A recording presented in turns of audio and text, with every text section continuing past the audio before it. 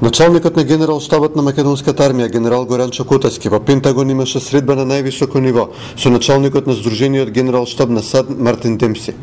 По средбата генерал Котаски изјави дека разговарале за спорот зимето со Грција, која е главната пречка што стои на патот на македонското членство во НАТО. Во рамките на мојата посета на вооружените сили на Соединените Американски држави, денес има средба со началникот на Сдружениот штаб, генералот Демси, Разговаравме за нашиот допринос во мировните операции и за нашето стратегиско партнерство.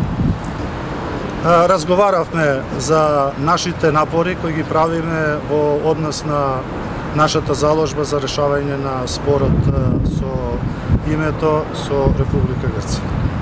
Котески изјави дека САД најавиле продолжување на нивната подршка за опремувањето на македонската армија, а станало збори за регионалната соработка на Балканот. Генерал Котески и генерал Демси разговарале за македонските планови за мисијата во Афганистан по 2014 година, кога се очекува САД да стават крај на своите борбени активности. Котески рече дека Македонија ќе остане во Афганистан во мисија на обука.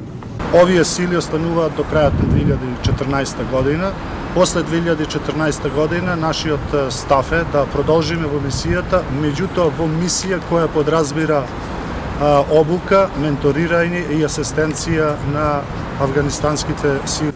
Началникот на македонскиот генерал штаб во Вашингтон се сретни со заменикот помошник државен секретар Филип Рикер и со Евелен Фаркас од секретаријатот за одбрана, како и со други функционери на американската армија и национална гарда.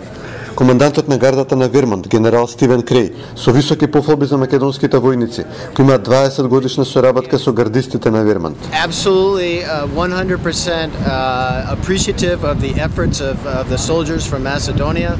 Um, they are very professional uh, and uh, the cooperation that we have between our two militaries is very strong, and I think that is a, a, a, bond that we will have forever, that our two militaries will have forever.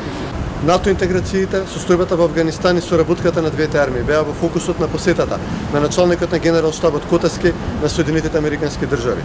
Од Вашингтон се јави Челиманов.